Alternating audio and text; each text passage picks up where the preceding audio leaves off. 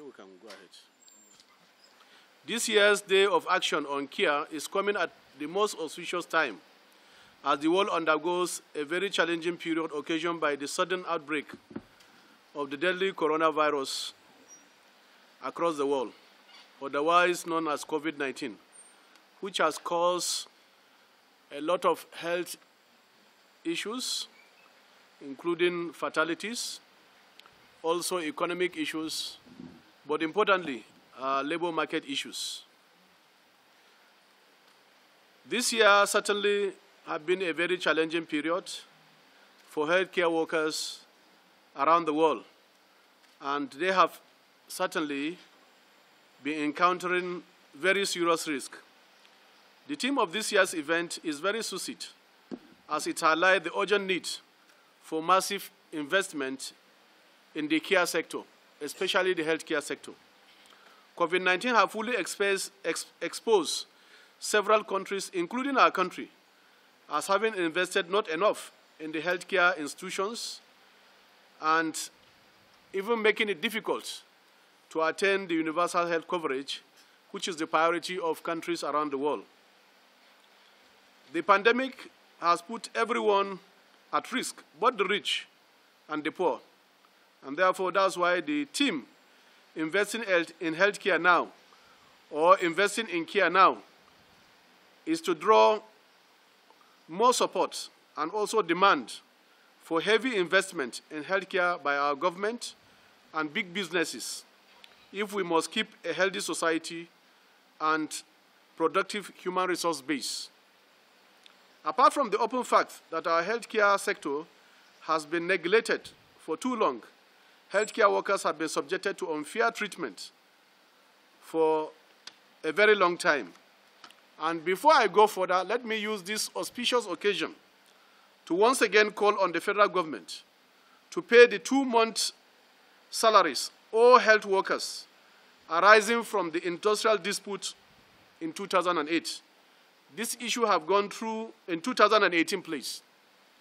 This issue have gone through the National Industrial Court and the alternate dispute resolution mechanism. And uh, the ruling of the court is that status quo ante, to our understanding that is supposed to be maintained, is to the effect that those workers have earned their salaries. Importantly also, the government must take serious the just concluded two weeks warning strike by the Joint Health Sector Union members, arising from the fact also that the dispute procedure, which all parties were subjected to, was not followed up by government. Apart from the open fact that the health sector had been neglected, one important issue is the fact also that the resources that have been allocated to the health sector for quite some time now have fallen beyond, below the standard that is prescribed by the African Union, which is supposed to be not less than 50% of our annual budget. Essentially, workers, as they are often called in the health sector, are also part of this challenging period. And in most cases, some of our workers have not been paid their salaries and allowances, owing also to the challenge of COVID-19, especially in the states and local government. And we want to call on government at all levels to continue to prioritize the payment of these very essential workers' salary and their allowances so that they can continue to serve, service the citizens.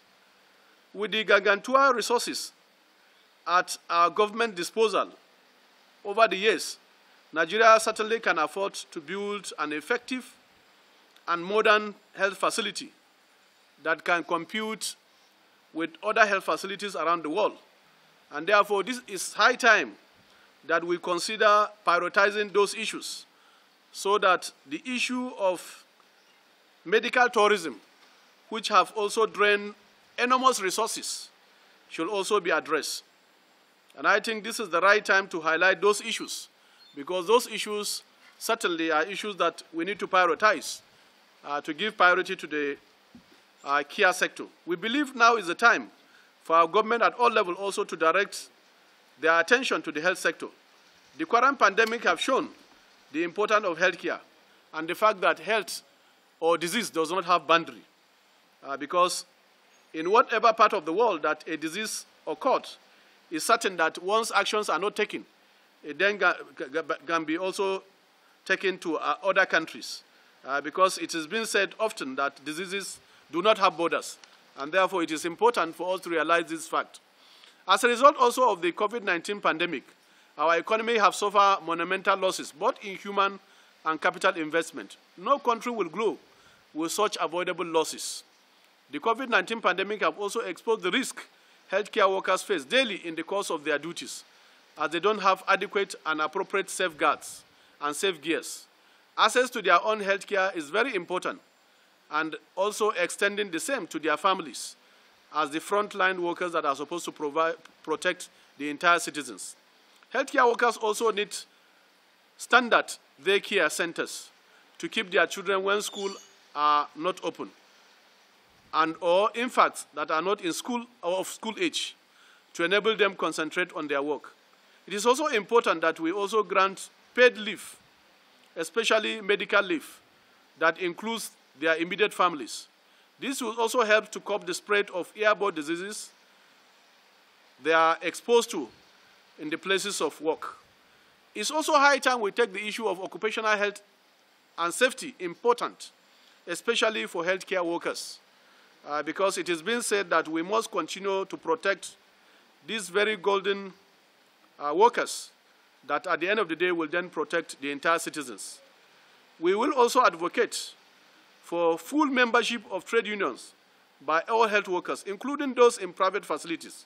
This will give them coverage to demand for their rights and enable unions monitor safety standards at the centers and also in those healthcare facilities. This will form part of our campaign in support of healthcare workers across the country in both public and private sector. We will carry out this campaign in collaboration with our affiliate unions in the health sector, especially the National Association of Nigerian Nurses and Midwives and the Medical and Health Workers Union of Nigeria because the partnership is very important at this point in time uh, to make sure that we have a healthy workforce that can then deliver the universal health coverage, which is the priority of all the countries around the world.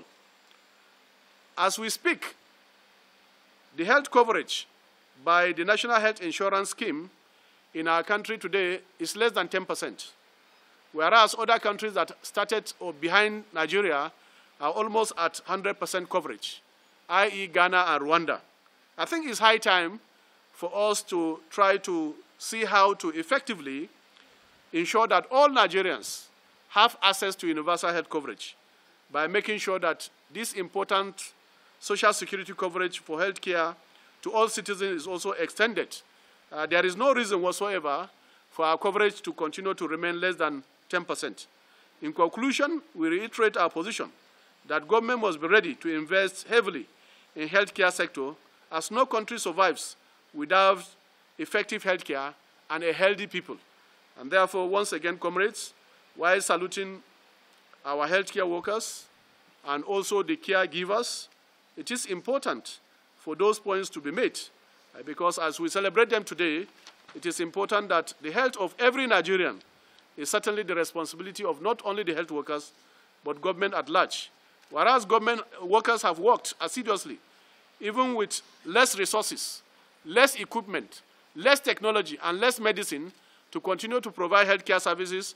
But it's high time, with the challenge of COVID-19, to invest heavily now in healthcare so that we can address this issue of medical tourism, which has been draining a lot of resources from our country. So once again, comrade, I want to thank you immensely. And I want to once again salute the courage and the tenacity of our healthcare workers and healthcare givers in all the sectors of the economy as we mark this very important day, a day of action on healthcare, on healthcare workers, and on healthcare givers. Thank you very much for your rapt attention.